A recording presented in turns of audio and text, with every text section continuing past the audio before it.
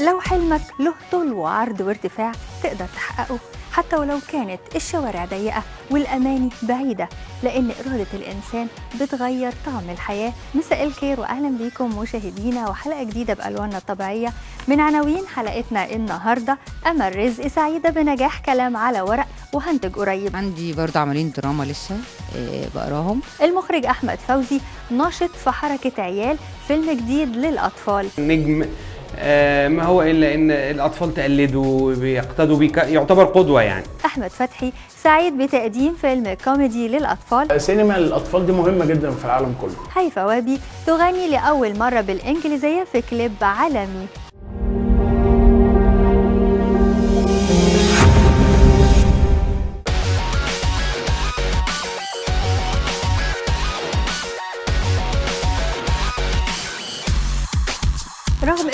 الفنان عمرو دياب آه، عن وسائل الإعلام والصحف إلا أن جمهوره بيتابع دايما أخباره بشغف وحب كبير جدا آه، مع قرب طرح ألبومه الجديد خاصة.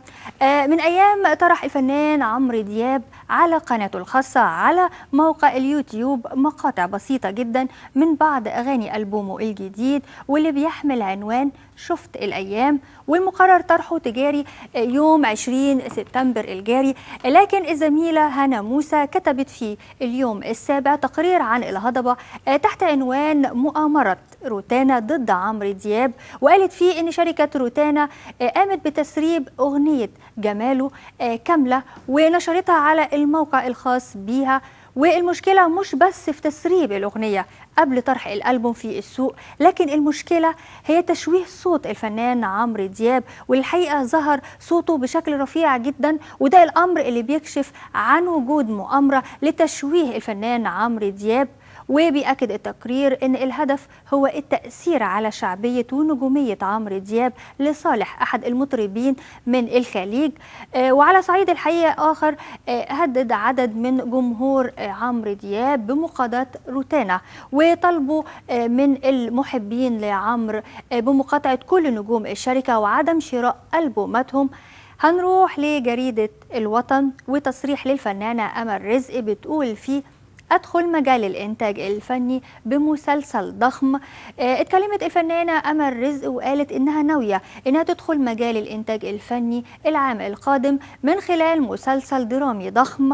آه، أما عن ردود الأفعال عن دورها في مسلسل كلام على ورق واللي عرض في رمضان الماضي قالت إنها سعيدة جدا بالعمل آه، اللي قدمها الحقيقة بشكل جديد ومختلف والشخصية اللي قدمتها الحقيقة كانت شخصية صعبة جدا ومعقدة. اتكلمت كمان عن الكادر المائل آه، اللي استخدمه المخرج محمد سامي وقالت إنه قصد آه، بيه هو التعبير عن حال الدنيا المقلوب. كاميرا بالألوان الطبيعية التقت بالفنانة أمل رزق واللي هتكلمنا عن مغامرتها الجديدة في الإنتاج ودخولها عالم الإنتاج الفني السنة القادمة في مسلسل درامي ضخم. تعالوا نشوف هتقول لنا إيه أمل رزق وعن كمان أعمالها الفنية آه،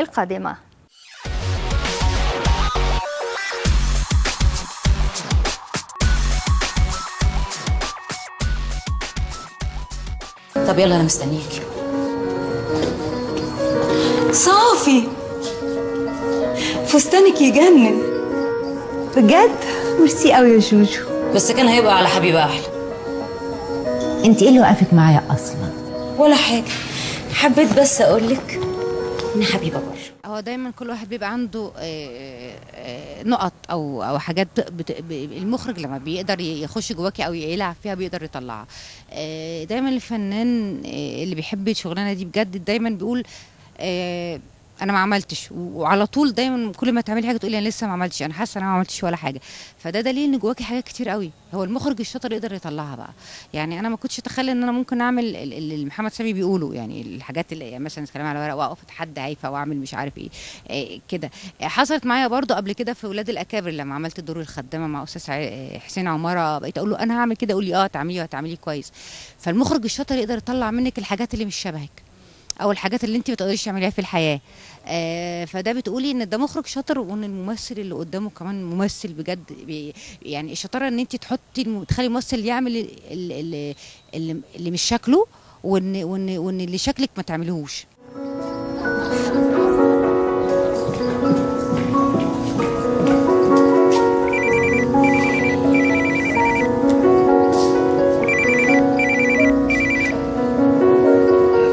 بتدوري على مين؟ بدور على مروان. ما أنا ده اللي أنا ده ده ده ده اللطيف بقى. يعني انت مش فاهمة. يعني انت مش فاهمة. دي دي شخصية أمل نفسها اللي إحنا عارفينها بجد. دي شخصية صافي. آه الست دي بتعمل كده ليه؟ آه هي دي شطارة. إنما هو باختصار انت بتتفرجي بقى بتمعن هتعرفي إن الست دي واحدة بتدافع عن بيتها. آه بتدافع عنه بقى بشر بتدافع عنه بصدق بتدافع عنه بس هي عندها وجع. كل واحد بيختلف فينا. أنا أقدر أدافع عن عن وجعي ب- ب- بإن أنا أبقى مسكينة واظل باخد حقي بطريقة تانية متمسكنة وحرام. لا وفي واحدة تقدر تدافع بعنفوان لأن هي شخصيتها جريئة. وفي واحدة تقدر تدافع عشان هو ده الصح. يلا نسلم على الناس.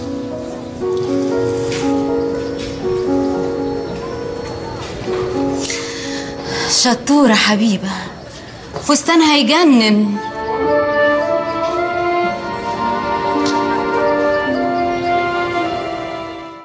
تعبني شوية لأن كان في آه، حالات متذبذبة. يعني بمثل قدام جوزي بشكل وأنا لسه مسلطة على ست تتقتل وبمثل قدام ابني بشكل وأنا لسه عاملة عايزة آه، آه، أفسخ العلاقة اللي بينه وبين اللي هو بيحبها.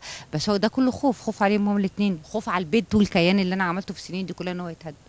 فصراع جواها. هي مش عايزة تعمل كده. بدليل إن هي بقت ما كنت تعمل كل حاجة فبيجي لها لحظات تقعد مع نفسها بتبقى تحس إن هي حزينة هي مش في مؤلفين ما فيش ولا حرف عليهم لا غبار عليهم يعني ما تقدريش تحطي كلمة في وسط كلامه لأنك بتفقدي معناه لأنه تبقى لغة حوار وناعمه بيبقى هو في دفء آه، على حسب آه، لو صعيدي بيبقى لك هو عارف وماشي مع مع الصيغة بتاعته كله آه، ده ده لو كاتب من الكتاب اللي هم العظام اللي إحنا بنتكلم عنهم اللي لهم تاريخ وثقل. ده ما تقدريش لا غبار عليه ما ينفعش حد يخش معاه وتقولي مثلا آه، أشرف على السيناريو زي طبعا العظيم الله يرحمه اسامه انور عكاشه وطبعا اللي موجودين كلهم على راسنا يعني. إنما دلوقتي آه، أنا شايفة إن إحنا في في, في الأيام الجديدة في الحديثة مع مع مع الشباب مع الفكر الجديد وما أعرفش إيه أنا بفضل الورشة. يعني أنا بفضل الورشة بس يبقى كلهم جداد بفكر جديد ويقودهم ليدر كويس اللي هو المخرج يبقى بيفهم في الورق. آه، فيلم فبراير الأسود أنا بعتز بيه فنيا لأنه قيمة فنية. الأستاذ محمد أمين طبعا و... وأنا عملته مع الجميل اللي أنا بحبه خالد صالح آه، ففبراير الأسود اتظلم في عرضه. يعني ده لو كانت عمل يعني اتعرض في وقت تاني كان فرق كتير جدا معايا ومع كل ال- القائمين على الفيلم يعني. أنا نفسي أشتغل سينما أنا عندي أفلام سينما عندي فيلمين ما بتتش ما بتتش فيهم. آه عندي برضه عملين دراما لسه آه بقراهم. آه أعتقد لسه شوية. أنا احتمال إن شاء الله يا رب حصري هول دريم أخش أنتج السنة دي إن شاء الله. عمل كان أستاذ إسماعيل كنت آه بداء يعني مش بداء يعني عندنا الورق وكنا واخدين الموافقات وما أعرفش إيه ومعمول عليه برزنتيشن ضخم وعمل ضخم. فربنا قدرني وأعرف أكمل المسيرة عشان خاطر ولاده عشان يبقوا عملوا حاجة لبابا. لا هو مش صعب لأن أنا تربية إسماعيل أنا إسماعيل مربيني زيه زي ولاده يعني مش لا مش صعب إن شاء الله مش صعب إن شاء الله مش صعب. بس المهم إن تقدري تحافظي على نفس المستوى اللي كان عليه لأن اسم اسم إسماعيل كبير قوي ما ينفعش أي حد يوصل ليه ولا أنا ولا غيري. بس ربنا يقدرنا إن شاء الله ربنا يقدرنا وهو عشان هو عنده بنات بس فهو يا رب يقدرهم عشان هم عايزين يفضل اسم إسماعيل كتكوت موجود وإن شاء الله هيبقى موجود. الغضب بتسيطر على السينمائيين بسبب استبعادهم وتهميشهم في إعادة الهيكلة داخل مبنى مسبيرو وده اللي نشرته جريدة المصري اليوم تحت عنوان آه، نقيب السينمائيين يرسل خطابا فيه آه، محلب يتجاهلنا يا فخامة الرئيس. أكد مسعد فودة نقيب السينمائيين أنه لجأ للسيد رئيس الجمهورية عبد الفتاح السيسي بسبب تجاهل المهندس إبراهيم محلب رئيس الوزراء لشكاوى نقابة السينمائيين وقال كمان أنه أرسل له ثلاث خطابات طالب خلالها بعدم تهميش نقابة السينمائيين والاستعانة بخبرات أعضائها في التصوير والمونتاج والإدارة داخل مسبيرو لكنه للأسف تجاهل الرد على الخطابات وأدر ظهره للنقابة. هنروح دلوقتي لأهم التصريحات الصحفية. خالد جلال استوديو الممثل لا يعترف بالوساطة. عزة العليلي مصير مسلسل ستائر الخوف لا يزال غامضا. حتى الآن أسامة هيكل سنعيد النظر في سعر تأجير فندق مدينة الإنتاج و9 مليون ليس رقما. عبد الرحيم كمال مسلسل يحيى الفخراني الجديد ستتضح معلم خلال شهر داليا مصطفى ارتباطي بمسلسل أنا عشق سبب انسحابي من الجزء الثاني لسرايا عابدين. أحمد وفيق قدمت فيلم قبل الربيع حبا في السينما. من جريدة المصري اليوم معانا تصريح للفنان أشرف عبد الغفور نقيب الممثلين بيقول فيه فشل الصلح بين محمد رمضان والمنتج محمد سمير أكد الفنان أشرف عبد الغفور آه، إن النقابة فشلت في الصلح بين الفنان محمد رمضان والمنتج محمد سمير بسبب إصرار وتمسك كل طرف بموقفه وإن جلسات الصلح للأسف آه، ما قدرتش تقرب وجهات النظر بينهم وسبب الخلاف هو تراجع الفنان محمد رمضان عن القيام ببطولة مسلسل من إنتاج آه، الشركة اللي بيمتلكها محمد سمير وللأسف اعتذاره الوفاء بشروط التعاقد وده الأمر اللي وضع الشركة في موقف صعب خاصة إنها كانت بتفكر في إنتاج المسلسل لعرضه في شهر رمضان القادم. هنروح دلوقتي لأهم الأخبار السريعة. إحالة مدير التسويق والعلاقات الدولية بمدينة الإنتاج الإعلامي إلى التحقيق. استكمال تصوير فيلم السويسري في الغردقة لعرضه في نص السنة. شمس الكويتية تخوض تجربة الدراما الأولى مع طارق لطفي. عرض الجزء الثاني من مسلسل سلسال الدم في مارس القادم. الأقصر للسينما الإفريقية يفتح باب الاشتراك للأفلام. اسمحوا لي نروح لفاصل ونرجع لكم مرة تانية علشان نكمل باقي فقرات حلقتنا النهاردة. استنونا. النهاردة عن الفيلم الجديد ناشط في حركة عيال والفيلم للأطفال ومعروض حاليا ب 40 دار عرض بمصر و12 دار عرض بدول الخليج. الفيلم بيعتبر عودة حقيقية للسينما ودراما الأطفال في مصر بعد للأسف اختفائها لسنوات طويلة. بيشارك في بطولة العمل مجموعة من الأطفال آه، منهم أحمد جاسر وبيشارك كمان في مجموعة من الفنانين الشباب آه، منهم خالد حمزاوي وأحمد فتحي وتناول مؤلف العمل محمد إناوي أكثر من قضية تهم الأطفال وقام بإخراج الفيلم أحمد فوزي واللي كلمنا عن الفيلم وعن تحمسه للتعاون مع الأطفال. تعالوا مع بعض نلتقي بمخرج العمل ونلتقي كمان بمنتجه ومؤلفه في تقريرنا اللي جاي.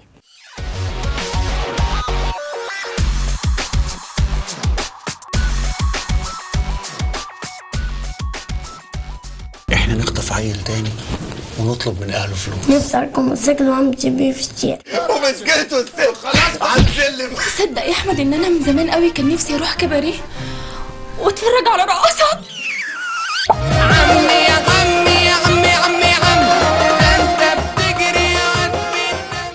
مؤخرا في دور العرض فيلم ناشط في حركة عيال وبتدور أحداثه حول شابان بيتخرجوا من الجامعة وبيحلم كل واحد منهم بعمل آه، مصنع فيلجأ لخطف طفل من أسرة غنية ويطلب فدية لتحقيق حلمه.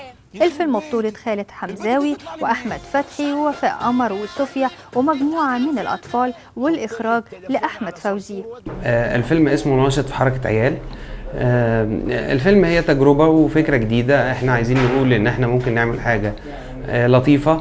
فيلم آه، فيه جودة وفي نفس الوقت آه، ما فيهوش ألفاظ خارجة ما فيهوش آه، آه، صورة تسيء للعين ما فيهوش. يعني حاجة زي ما بيقولوا نظيفة يعني. ما- حدش يقدر يبقى مثلا بيتفرج على الفيلم في السينما أو كده. ف... ف... فيبقى مستاء من لفظ يسمعه مستاء من صورة معينة بيشوفها بيلاقيها مش مش كويسة. آه، يعني فيلم للأسرة المصرية.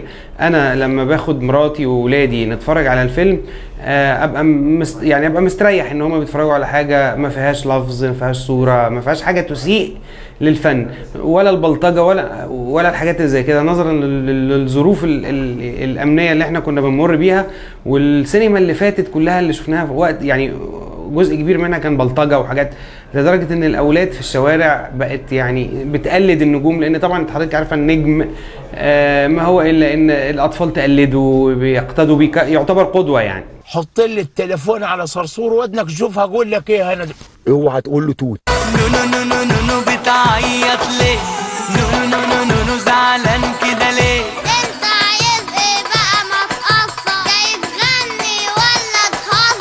تهزر تنسواري وجزمة كعب حاجة البت طالعة عاية يا حسن. أنا عندي كل دور بينادي صاحبه. يعني أنا بعمل آه، تسكين بتبقى قدامي الترشيحات كل دور بينادي صاحبه. آه لقيت الأدوار الناس دول هي دي اللي تمشي معاهم يعني. بس ب يعني هم مش نجوم صف تاني لا بالعكس أنا عندي حمزاوي ده نجم وعندي أحمد فتحي طبعا نجم وله أعمال تألق فيها جدا في رمضان بصراحة وعندي وفاء قمر. كانت آه، لو حضرتك عارفة كانت هي في مسلسل ابن حلال. كانت برضو دور دور آه، بطولة. كان دور كويس جدا. آه، الأطفال الصغيرين كانوا آه، متميزين جدا. والحقيقة يعني أنا لقيت آه، كل دور فيهم كان يعني لايق على صاحبه. الحقيقة ساكن في مفرش الحمص رود الفرج. لا لا الله اديك بقى ربع جنيه علشان تروح تشم كله كلها؟ يا بيه ده انت قديم قوي. نفسي أشم لحم إحنا عايزين نقول إن آه، من القصة آه، إن الواحد لازم الواحد يبقى عنده طموح. ما ينفعش الطموح يقف عند حد معين. ده ولد آه، مهندس خريج هندسة. نظرا للظروف الاقتصادية اللي بتمر بيها البلد لقى نفسه بيشتغل security في فيلا. فهو نفسه أمله حلمه يعمل مصنع وي آه، ويشغل فيه 300 عامل ويعني ينفذ دراسته اللي قضى بيها بقية عمره. فجات له فكرة كده إحنا بنعمل for fun يعني. آه إنه يخطف ابن صاحب الفيلا اللي هو بيشتغل فيها لأنه نظرا لأنهم قعدوا سنين ما يخلفوش وبعدين جاء والولد ده غالي عنده عندهم قوي. آه وابتدى بقى هو آه، خطف ولد واثنين وثلاثه وبعدين ابتدى يحقق لهم بقى أحلامهم. يعني شوف أمنيات الأطفال إيه؟ لأن هو أصلا آه مش مش مجرم. إنما هو كان عايز يخطف الأطفال دول وم- وما يسيئش التعامل إليهم ويرجعهم لأهاليهم وياخد منهم فلوس ويشغل الفلوس ويرجع لهم بعد ما يكسب أصل الفلوس لاهاليهم يعني فكرة طبعا خيالية يعني. هو طبعا إحنا ما بنناديش بكده وما بنقولش لحد حد يعمل كده. إنما الفكرة اللي جت في ذهن المؤلف هي دي يعني. والله هي تجربة أول تجربة ليا فيلم نشط في حركة عيال آه الحلو فيها واللي عجبني الفكرة المبدئية فيها إنه موجهة للأطفال. أفلام الأطفال قليلة جدا. وفي نفس الوقت برضه غير الأطفال إن بدي مساحة ج- يعني للموهوبين من من النجوم اللي هم النص نجوم يعني اللي هم الشباب إن ياخدوا مساحة ل- لتجديد السينما شوية بالنسبة للبطولات وكلام من ده. يعني عندنا في الفيلم أحمد آه، أحمد فتحي وخالد حمزاوي ووفاء قمر كلها إيه وجوه شابة يعني جديدة فمحتاجة مساحة آه، في العمل السينمائي يظهروا فيه موهبتهم أكتر وعجبني فكرته إنه طبعا موجه للأطفال كوميدي الناس زهقت من الدراما ومن الأكشن وكده فده كوميدي.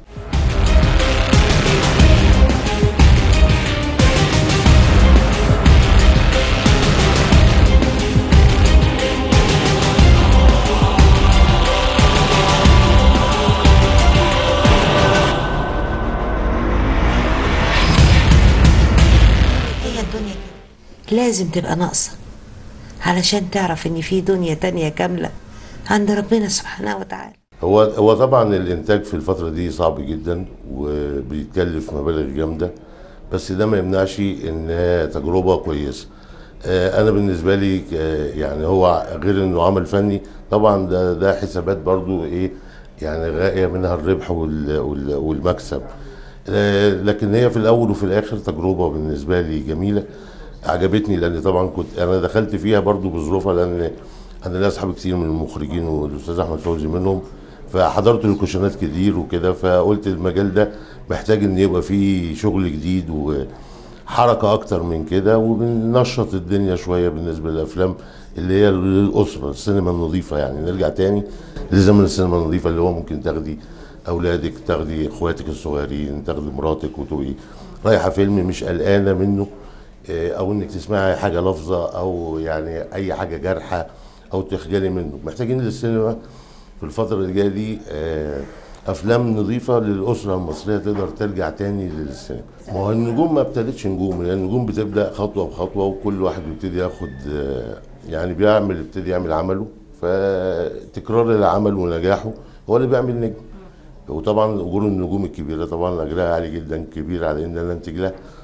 فعشان كده أنا بعتمد على الصف الثاني من النجوم اللي هم مستقبلا يكونوا يعني إيه هيبقوا برضو نجوم زي اللي هم موجودين دلوقتي. هو هو الموضوع على فكرة مش مش مخصص يعني ما بيتناولش بس موضوع خطف الأطفال.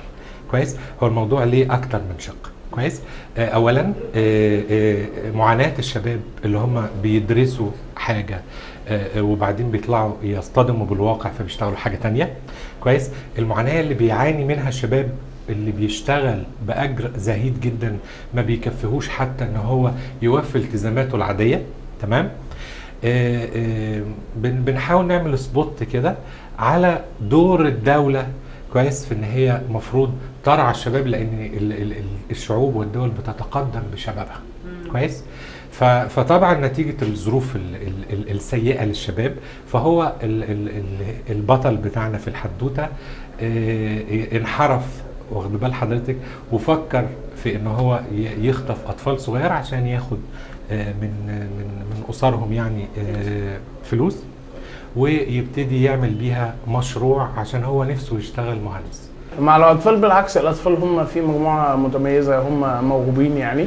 آه، بنشتغل معاهم شوية أكتر بتركيز وبنثبت الحاجات فهم بيبقوا كويسين الحمد لله. يعني بتاخد مجهود أكتر شوية ممكن. البنت بتاعت مين؟ بتاعت مين؟ بتاع الأستاذ محمد آه، هنيدي في فيلم مبروك إبراهيم أبو العالمين حمدوق. هي دي محاولة مننا إن إحنا آه، سينما الأطفال دي مهمة جدا في العالم كله. فلازم نقدم لهم حاجات معينة. وطبعا النجم بيبقى ال- ال- ال- زهوته أكبر وبيجي له طبعا إقبال أكبر. ولكن هو تقديم العمل هو واحد بالنسبة للأطفال نجم أو لسه الشباب طالعة جداد أو كده. وهو مهم جدا إن إحنا نقدم سينما لل- للأطفال يعني ويكون أبطالها أطفال كمان. البنت دي بتطلع لي منين؟ حط لي التليفون على صرصور ودنك شوف هقول لك إيه أنا. اوعى تقول له توت. هم اتنين صحاب اتنين صحاب غلابة ونفس ال- الدايرة اللي إحنا عايشين فيها إن هم مش لاقيين فرصة عمل والدنيا كل واحد عنده أزمة. فصاحبه بيقول له إحنا هنخطف أطفال وكده فهو بيرفض. إزاي يعني؟ بيقول له لا إحنا بعد ما ناخد الفلوس هنرجعها وحاجات كده وده ما بيتحققش طبعا. بس هم عشان طيبين وكويسين بيعاملوا الأطفال كويس لدرجة إن الأطفال اللي بيخطفوهم بيحبوهم.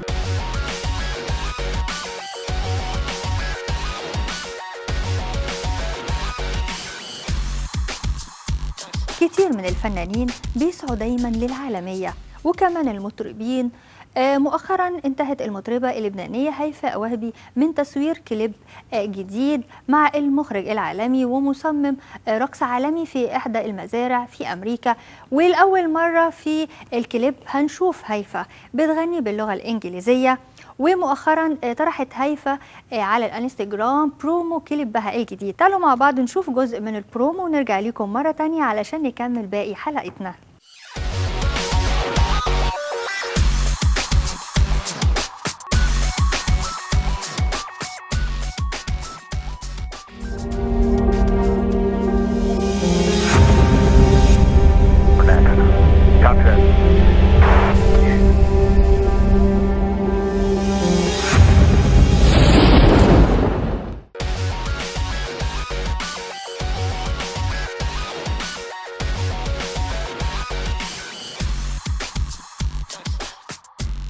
دلوقتي لآخر فقرة في البرنامج وأهم التعليقات على شبكة التواصل الاجتماعي الفيسبوك وتويتر وأول تعليق معانا النهارده آه، لوليد يوسف بيقول قديما كنا نشعر بقيمة مصر ونحن في الخارج. الآن بدأنا ندرك حبنا لها وقيمتها ونحن في الداخل أيضا. آه، خير الله اللي اتلسع من الكفتة ينفخ في قناة السويس. بطرس دانيال القيمة الحقيقية للإنسان ليست في إحساسه بنفسه بل في عطائه للناس. الفنانة أصالة تجملوا بأرواحكم قبل أشكالكم فلا يكتمل جمال الورود دون عطرها. الفنان محمد رمضان وقعت مؤخرا على طولة مسلسل جديد وانتظروا واحد صعيدي قريبا. آه، خالد سليم مشغول بتصوير سيرة حب مع الفنانة سيرين عبد النور.